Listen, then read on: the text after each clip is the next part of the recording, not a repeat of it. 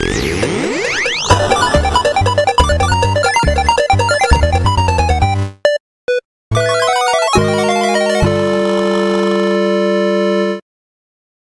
pessoal, meu nome é Rodrigo Arantes, eu sou analista de negócios criativos e estou aqui para a gente debater essa pergunta. Afinal, por que nós nunca temos dinheiro?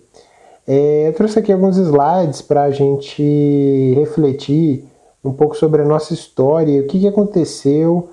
que nós, os países latinos, os países da América do Sul, ficamos atrasados com relação ao desenvolvimento da indústria financeira.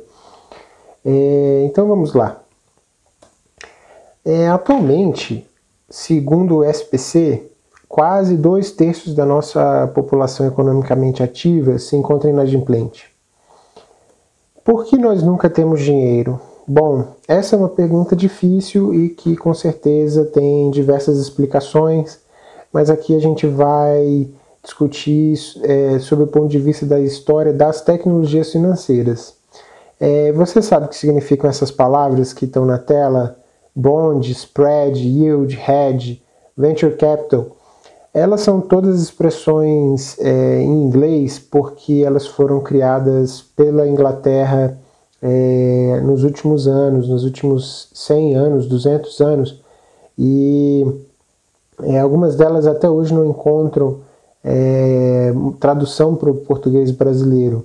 mas elas são tecnologias financeiras. E a história de por que, que nós ficamos é, de fora desse movimento e, e não recebemos é, esse mesmo desenvolvimento de tecnologias financeiras está relacionada com a história da reforma protestante e a contra-reforma católica, que foi algo que começou a acontecer é, mais ou menos no período do descobrimento do Brasil e após um longo período de vários séculos de guerras cruzadas é, da Igreja Católica lá no Oriente, né? E que empobreceram muito o norte da Europa, países como Alemanha, Inglaterra, eles é, cederam muitos homens, soldados e também recursos para essas cruzadas. E é, e aí viram que, que é, pagaram a conta das guerras e ao mesmo tempo que a Igreja Católica, que é, é condenava o lucro e a usura, é, fez muito dinheiro junto com as elites de Gênova e Veneza, e Veneza que é, enriqueceram com as rotas comerciais que se abriram para o Oriente graças a essas cruzadas, essas guerras. E, e isso fez com que começasse a surgir algumas insatisfações nesse, no norte da Europa, mas principalmente uma revisão da doutrina católica com relação a esses aspectos, principalmente, é, que levaram o norte da Europa a se emancipar com relação, nesse sentido teológico, é, da coisa. E é, a Igreja Católica respondeu a isso com um movimento de reforço de suas tradições, que é o chamado Contra-Reforma. E, esse movimento pegou em cheio o Brasil, porque veio para cá as missões da Companhia de Jesus, é, assim como os outros países da América do Sul. Também houve a Inquisição, e esse movimento realmente é, veio para reforçar aquelas tradições e esses valores contra o lucro e a usura e o, a, a hegemonia da igreja com relação a esses assuntos financeiros. Só a igreja tinha bancos e podia é, atuar nesse, nesse universo financeiro. Então, é, isso produziu uma imensa lacuna cultural na população desses países é, de, de, de, religião católica e origem, origem latina, e que até hoje a gente vê refletida na nossa realidade atual, é, na, na no, no, juros do cartão de crédito, porque tudo isso criou na nossa cultura uma ignorância desse aspecto, dessa dimensão que é muito cada dia, vez, cada dia mais é, parte da nossa vida diária. E um problema de analfabetismo financeiro crônico, é, que eu gosto de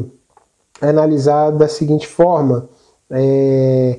a, a, engraçado a gente ver como que a Inglaterra, que globalizou o futebol no mundo, é, só foi campeão uma vez e o Brasil foi campeão cinco vezes na, na Copa do Mundo. Já é, a libra esterlina comparada com o real, ela sim é pentacampeã porque ela vale cinco reais, né? Enquanto um real, não quer dizer a gente precisa de cinco reais para ter uma comprar uma libra esterlina. Então um real vale 20 centavos da libra esterlina. É, isso é um, um, uma maneira de deno, denotativo da nossa, do nosso distanciamento com, com relação a essa realidade financeira, tendo se prendido muito mais ao mundo do simbólico, do artístico, é, principalmente porque a própria, é, a própria contrarreforma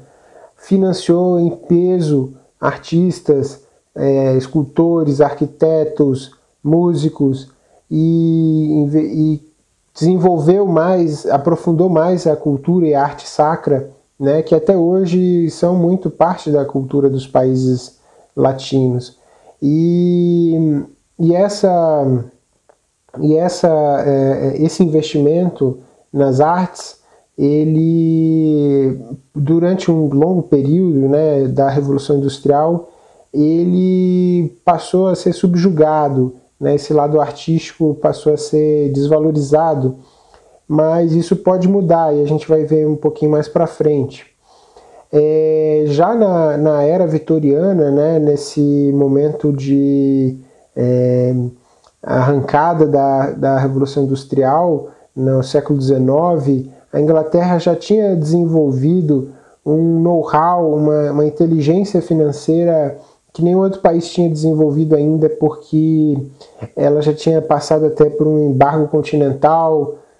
promovido por Napoleão, que inclusive fez com que a coroa portuguesa viesse para o Brasil, porque uh, Portugal não deixou de fazer comércio com a Inglaterra. Eles tinham medo de perder é, suas posses ultramarinhas caso eles desafiassem a Inglaterra, que era uma potência marítima. E, e isso fez com que a coroa viesse para o Brasil. É, mas já nessa época, a, a Inglaterra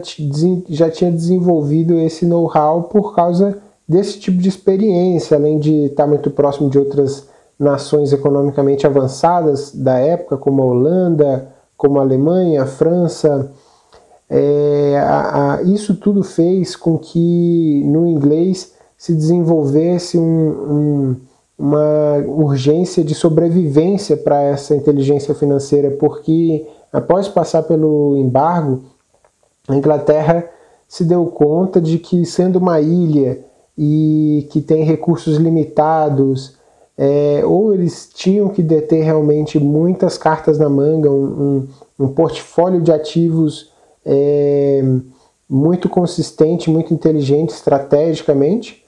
ou eles sofriam, é, correriam esse risco de ter a sua indústria estrangulada por algum tipo de embargo,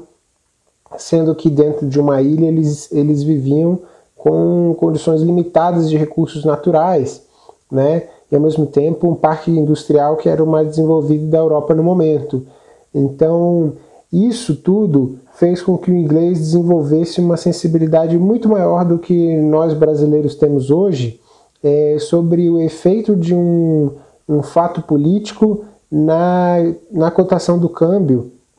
é, ou de qualquer outro é, bem que, que, que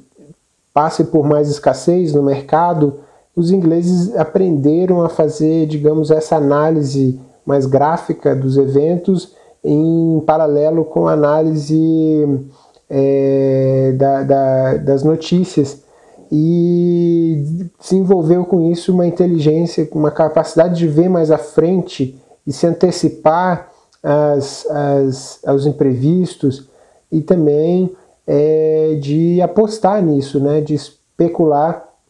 a fim de, de maximizar a sua estabilidade financeira.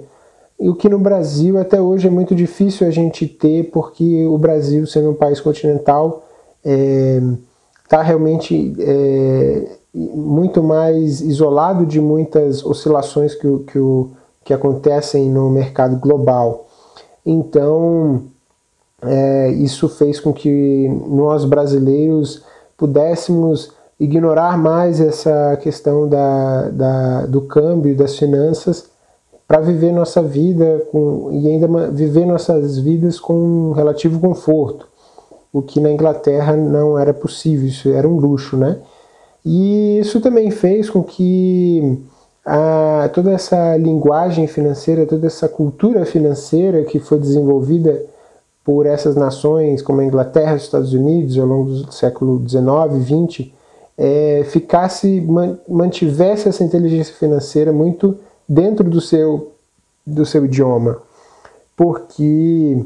uh, eles, além de desenvolverem terminologias em inglês e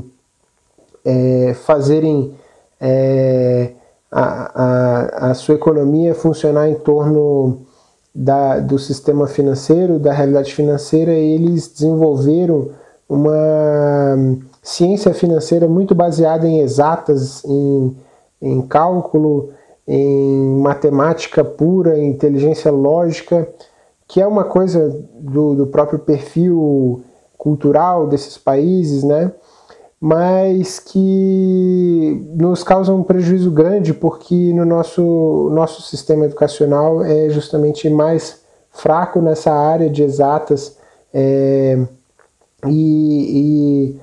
e, e, e, além disso é, isso faz com que a gente só entre em contato com, com a inteligência financeira é, às vezes só no, no ensino superior é, mas isso pode estar mudando agora e você pode participar disso também, porque o Instituto Jogada está agora publicando todo o seu material pedagógico gratuitamente, você pode imprimir, reproduzir,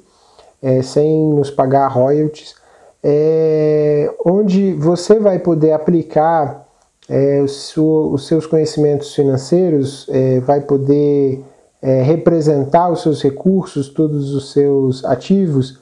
num quebra-cabeça, num tabuleiro onde esses recursos, esses números se transformam em peças num jogo e onde você pode utilizar a sua inteligência espacial para gerenciar esses ativos, esses dados no jogo. É, e isso é, nos permite um, uma revolução no nosso pensamento financeiro, porque a inteligência espacial ela, ela é algo que a gente desenvolve desde a primeira infância e, e no Brasil principalmente por causa da nossa cultura a gente é muito mais voltado para essa essas experiências e que não faltam na, na maioria das crianças e, uma vez que você pode utilizar a inteligência espacial na gestão desses recursos, você também pode utilizar é, uma inteligência mais intuitiva, algo que está muito mais internalizado, mais é, profundo na gente. E a nossa sensibilidade, a nossa imaginação, tudo contribui melhor para a utilização dos nossos recursos e do nosso patrimônio. Então, se a gente introduz o design lúdico no pensamento das finanças, a gente pode é, abrir um, estrangulamento que está acontecendo na nossa sociedade com relação à compreensão desse jogo financeiro do qual nós estamos sendo vítimas, nós estamos é, virando perdedores crônicos desse, desse jogo financeiro é, virando é, escravos do cartão de crédito, do banco, por causa, no fundo, no fundo, dessa construção histórica cultural que nos isolou desse desenvolvimento tecnológico das tecnologias financeiras. Mas a gamificação e o design lúdico também pode ser uma tecnologia financeira, né? E é isso que a gente está aqui para apresentar para você, para te convidar a conhecer mais. Nós temos um curso de gamificação de finanças pessoais e que acompanha, além do tabuleiro, essa planilha de gestão é, financeira pessoal desenvolvida por uma especialista, a Tarsila Landim, do, do portal Tudo com Excel e do canal, é, que é uma planilha, praticamente um sistema, é, uma habilidade que a Tarsila tem única de conseguir é, representar sistemas complexos em planilhas, mantendo tudo algo que você consegue gerenciar com muito domínio, muita autonomia, né? E eventualmente, se você quiser, você pode reeditar ela ao seu jeito. Então, é, conheça mais o nosso material. Se você gostar, você pode vir a ser um consultor também.